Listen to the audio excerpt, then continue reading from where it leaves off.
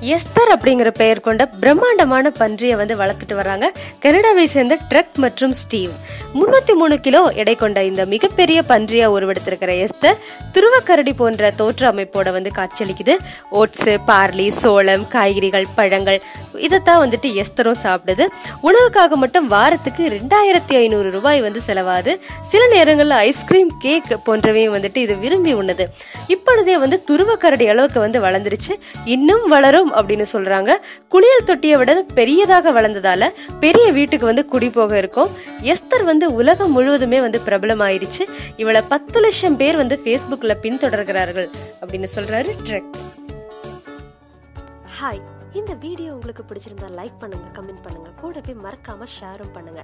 மேலும் இன்ட்ரெஸ்டிங்கான வீடியோஸ் பார்க்கணுமா? அப்போ மறக்காம வலை முன்னூத்தி அறுபது பெல்ல கிளிக் பண்ணுங்க. அதாவது சப்ஸ்கிரைப் பண்ணுங்க.